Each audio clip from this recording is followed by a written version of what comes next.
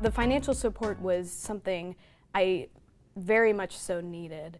Um, and I, I, applied for and I did get full funding, um, which was such a gracious gift. Um, was having that uh, scholarship opportunity or funding, was that uh, an important part of um, your decision to go? Without it, I definitely, it, the opportunity would not have been possible for me. And especially, you know, we're, we're adults and in a year we're going to be working and taking that sort of opportunity to, to go abroad is not as readily available. Mm-hmm. And so I, it was sort of a once in a lifetime opportunity, and without their support, I, it wouldn't happen. Mm-hmm.